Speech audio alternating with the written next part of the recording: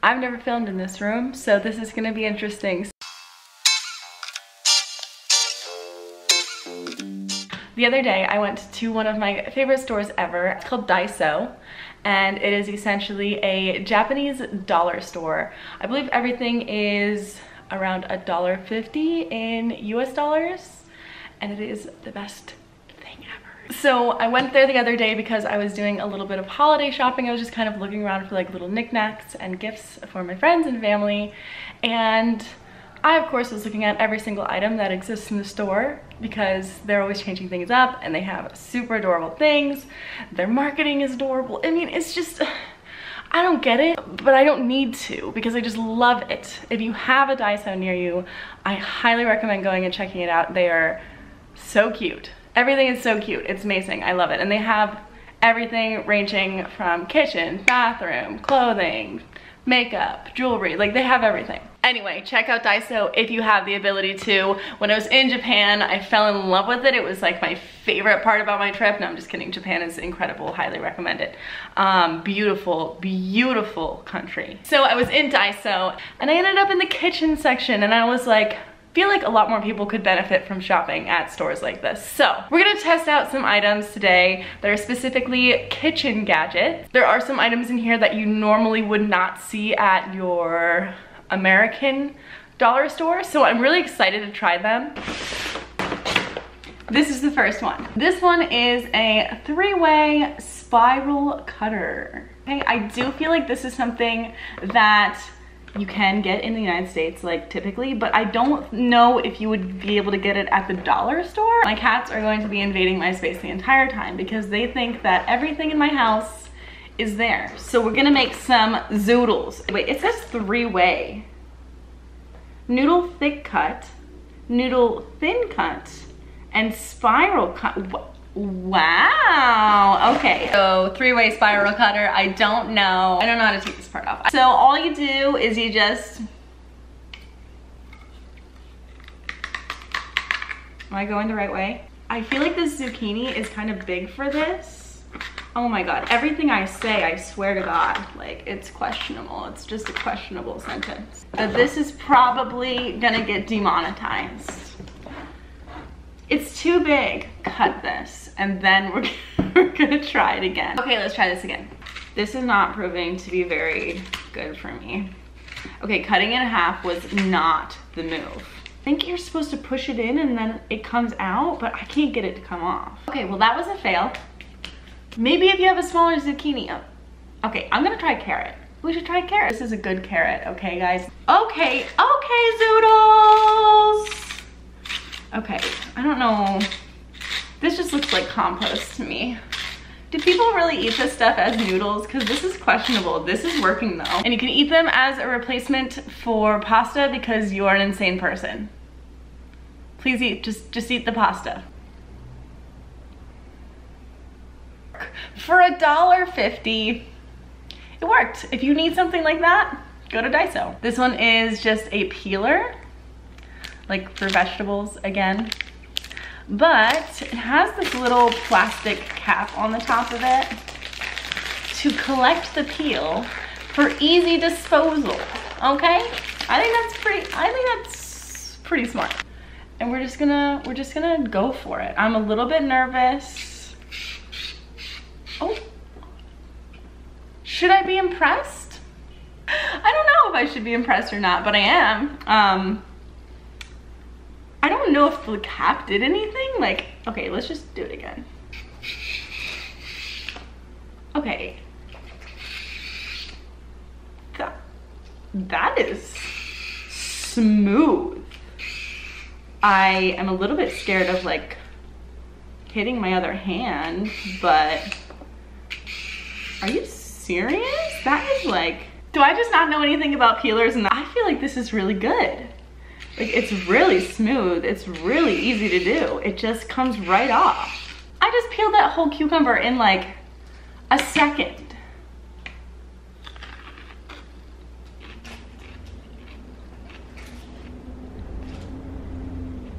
Does anybody else eat their cucumbers like corn on the cob? I don't actually do that. I'm just being weird. I have cucumber stuck in my teeth now, so that's it's really nice, I love that. The rating on that one would be a 10 out of 10. I loved that, and I'm actually going to use that in place of my other peeler that I have. Okay, next one, let's go. Let's freaking go. By the way, guys, I got quite a lot of these, so this is gonna be a long video. This is a packet of rice, okay? This I actually bought to use with another thing. This is probably one of the most exciting things that I bought today, even though it's not anything crazy, but I think it is so cute. This one is a punch for nori sheets, which is like a seaweed sheet. And you put it on rice for like a bento box and it makes a little face on it. It's so cute. This one is a cat face. It also says that there is a two all kinds. It says that there's a panda face. So it just kind of like goes out like that. And it punches the little face and then you put it on the rice and then you got a little face on your rice. So I just broke off a little piece. This is a pre-made sticky rice. I didn't have any rice actually. It says that I have to heat the rice for one minute. So I'm gonna go do that really quick. The rice is done. Ooh, stamp it. I need like tweezers or something. I just have to somehow get the whiskers out of here um, because they're still like kind of attached. Okay, so I'm sorry that the whole camera just moved. Guillermo just attacked it. It For some reason, the whiskers just like aren't coming out. So maybe, okay, one more time. We got this, we, we got this.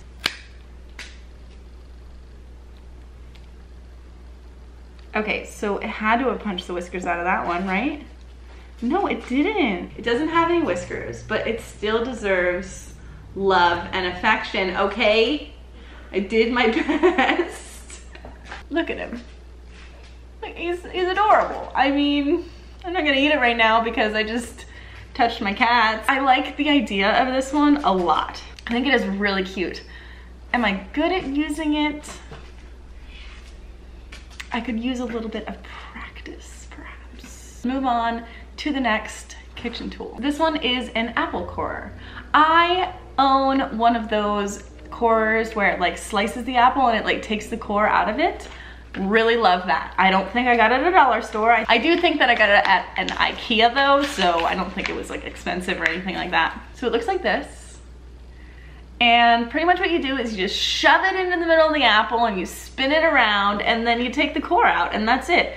And apparently the core of an apple is the same diameter with every single apple ever. This is my apple. These apples are so delicious. I was eating them the other day and I was like, what is this? Where did this come from? Aldi. I bought it at Aldi. I love Aldi. Just another store where I'm like, if more people knew about Aldi, like, oh God. Don't get me started on Aldi. I love Aldi so much. Oh God. Oh no, I don't think it's working.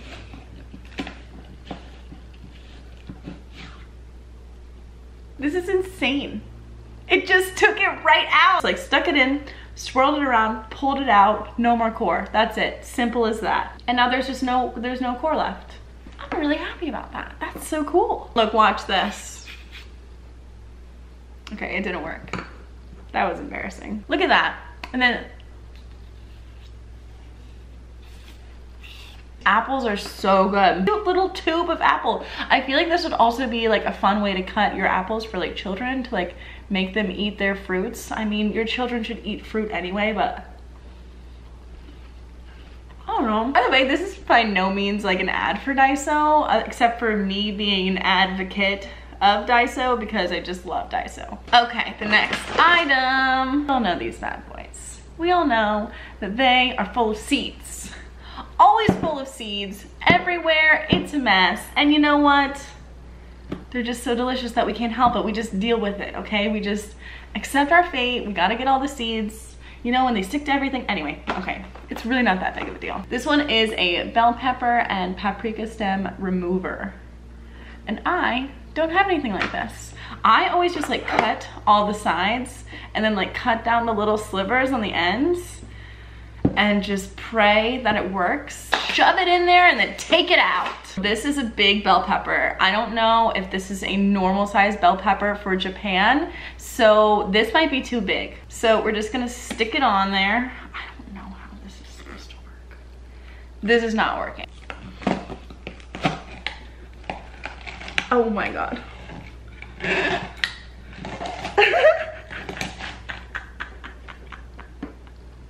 I don't think that this is what it's supposed to look like afterwards. Okay, I did it wrong. There's two pieces and I, we're not gonna talk about that. Okay, so we're just gonna stick it in here. Oh, I feel like it's gonna like spray in my face. Oh. Okay, okay. Look at that. It's in there. And then it says when you pull out, it will all come out. Hmm. Okay. It did take it out. It took out the top of it. There's still some stuff in there, but I could just scoop that out with a spoon. I guess that it did do what it was supposed to do. It removed the stem. I, for some reason, hyped it up both in my mind and to you guys that it was going to get rid of all of the seeds, which it totally did not do. There is plenty of seeds still in there, and there's actually still some of that like weird, like pulpy looking fibrous stuff on the side. Did it do what I thought it was gonna do? No, but that is my own fault for thinking that it was supposed to do something that it wasn't supposed to do. Okay, this one is actually really exciting to me because I've never had anything like this. Although I have seen these before, I have never used one before. This one is a potato peeler but you like rub the skin off of it. I've never used anything like this. It's like textured on, I think on both sides, and it just rubs your potato skin off, which I love potato skins. I don't know, you guys should probably eat your potato skins too, they're good. Big potato here. Like I got a big fat boy. So we're just gonna, I did wash it, okay? All of these vegetables are clean. Okay, I'm just gonna say really quick. okay, it, it's easier to peel it with a peeler. It's This is not easy. Look at this. I just scrubbed the shit out of that potato. I'm gonna try the other side, this side, and see if this side works better. So like, just show you how this works. Guillermo wants to be a part of this too, obviously. Definitely do it on a wet potato. A million times easier. Also, the other thing I noticed is like all the skin is like clumped up in here and it's gross and that's, yeah, that's just, I don't know. I feel like you would have to like rinse it out constantly and maybe it's the type of the potato that I'm using too. Like, oh my god. Oh my god. Look at that. It's so good. Okay, it's a little bit harder than the cucumber was, but it's so easy. This is high quality content. This is what you guys are here for. Potatoes. I didn't like the rubby potato peeler. I give that one a zero out of 10. I'm not gonna lie. I didn't like it. I thought that it kind of sucked. We have one more item to test. This is called the Hot Spring Egg Maker, right? Is that what it says? Yes. Sorry, the Hot Spring Egg, comma, maker. It's kind of ironic because my friend the other day was just telling me that her boyfriend makes eggs in the microwave and I was like, what? And I thought that it was like one of the craziest things ever. And he was just like, yeah, we make eggs in the microwave, it works, like doesn't matter. And you know what, to each their own. And like no judgment, I just thought it was so funny. And then at Daiso, I find an egg microwave cooking hot spring I don't eat very many eggs like by themselves, like just like an egg. But if you do eat eggs, I feel like this could be a really fun, easy way to cook an egg. Looks like a soft boiled egg. Do we see this? This looks like a soft boiled egg. So in my mind, I thought that it would stay in the shell. But apparently, according to these directions, you take the egg out, you poke a bunch of holes in the yolk, put water over it, so you're kind of like steaming it. You're steaming it. Hot Springs egg maker. Steam bath for your egg. I do have to say that it's pretty cute. It's just like this little John.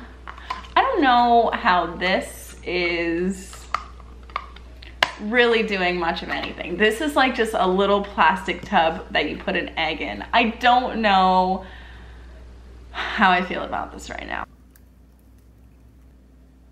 Oh my god, this is weird. I've never done this before. It says to poke it so it doesn't explode.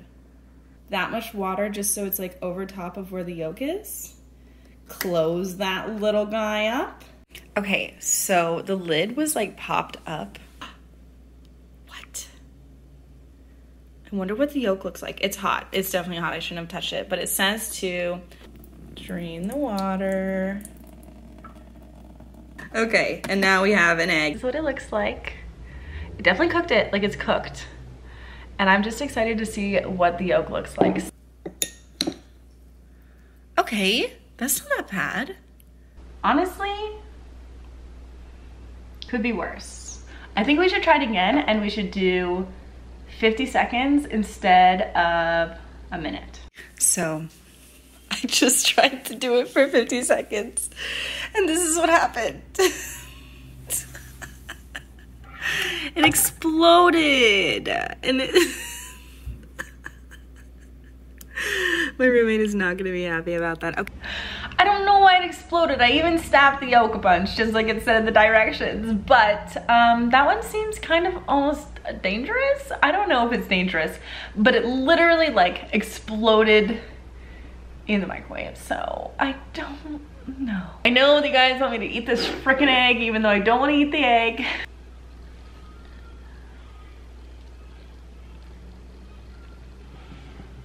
It's not awful but it's not for me. I don't really like eggs and I don't really like microwaved eggs.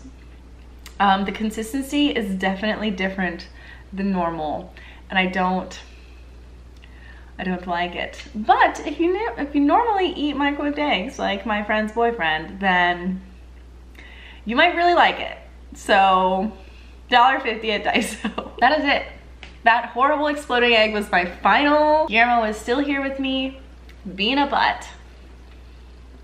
Well, you guys, I have to say that was an awful lot of fun. I just had such a good time eating that egg right now.